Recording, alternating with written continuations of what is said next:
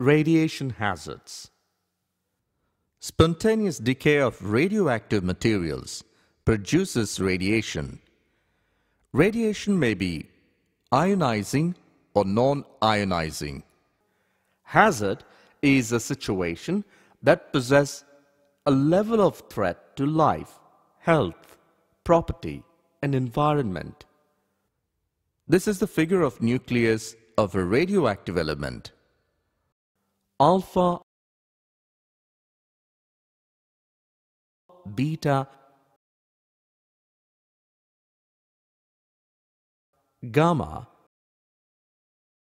and X-ray particles are the most common forms of ionizing radiations.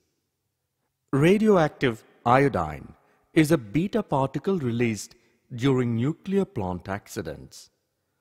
Thyroid gland is one of the most radiation sensitive parts of the body, especially in babies and children.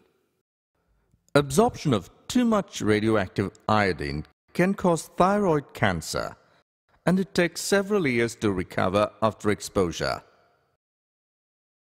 Ionizing radiation can damage living tissues in the human body. Non-ionizing radiation is series of energy waves composed of oscillating electric and magnetic fields traveling at the speed of light. When human body is exposed to non-ionizing radiation, it leads to heat generation in body tissue.